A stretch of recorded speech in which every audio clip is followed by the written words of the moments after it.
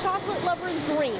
Northeastern Pennsylvania's own Willy Wonka, but you can get goods from this chocolatier all over the United States. Made and tasted right here in Pennsylvania. So there is a team here that, that tastes chocolate every day at 8 a.m. If it's all about supply and demand, in the case of Gertrude Hawk, the demand is high. We're not just buying sugar in little five pound bags. I mean, we're buying sugar, baby. but this small big business, as Mel describes it, didn't start out as the major success that it is today.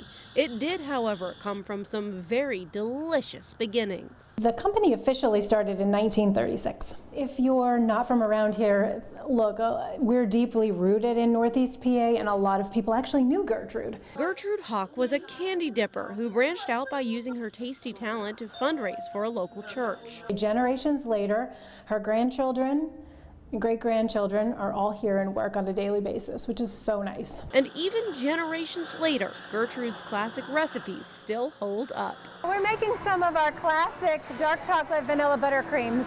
This is actually one of Gertrude's original recipes as well, maybe slightly modified for today's ingredients.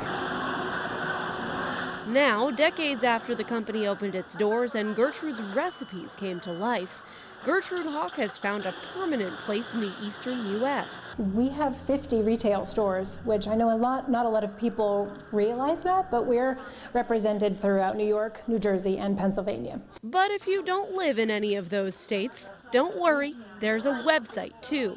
Florida and Arizona, people have retired and moved away but still want that taste of home, and you can get that. A satisfied sweet tooth, no matter the miles.